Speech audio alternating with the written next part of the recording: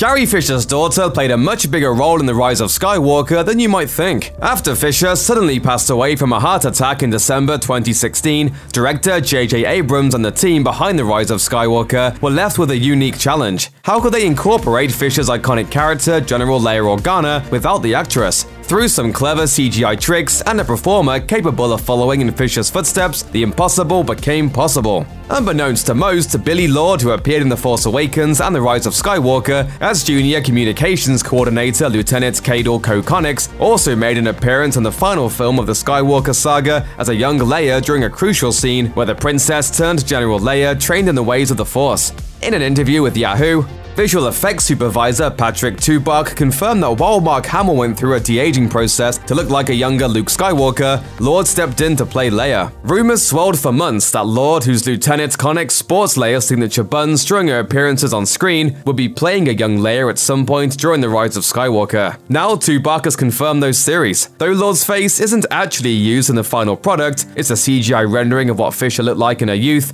everything else of her physical form is. He said, Billie was playing her mother. It was a poignant thing, and something that nobody took lightly, that she was willing to stand in for her mom. It was an emotional thing for everybody to see her in that position. It felt great for us too. If you're going to have someone play Fisher's part, it's great that it's Billie because there are a lot of similarities between them that we were able to draw from. The real challenge was just making the Leia footage we had to work with fit in that scene. VFX supervisor Roger Guyett also told Yahoo, What you see is what we developed. The idea was to provide this great surprise where they take the helmets off and you see Luke and Leia's younger faces. We scoured outtakes from the original movies, and we took some pieces and then had to try and figure out the technical aspect of putting that shot together. Going forward, whether or not Leia appears in any future Star Wars projects will be entirely up to the young actress. As Guyett noted, the truth is that Carrie was a friend of JJ and Billie is a friend of JJ. They talked a lot about that, and I think the heart of it is the utmost respect for Carrie and her memory and her performance. It couldn't have been easy for Lourd, who lost both her beloved mother and her grandmother, Debbie Reynolds, before 2016 came to an end to step in and play her mother. In the build-up to Rise of Skywalker, Lourd even addressed the legacy of both her mother and Leia by penning a deeply emotional essay for Time magazine where she discussed the good and bad impact that Princess Leia had on her life. Initially, Lourd was confused and often irritated by her mother's fame, but eventually she came around. She wrote,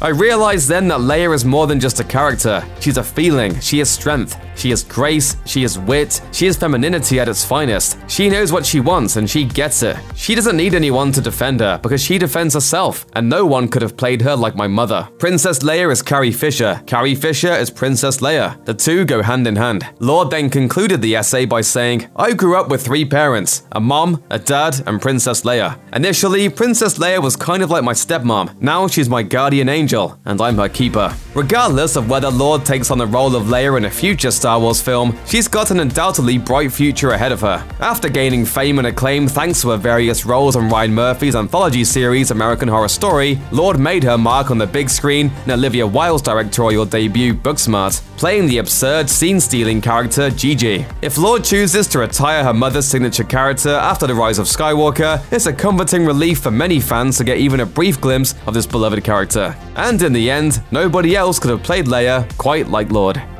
Check out one of our newest videos right here, plus even more Looper videos about your favorite movies are coming soon. Subscribe to our YouTube channel and hit the bell so you don't miss a single one.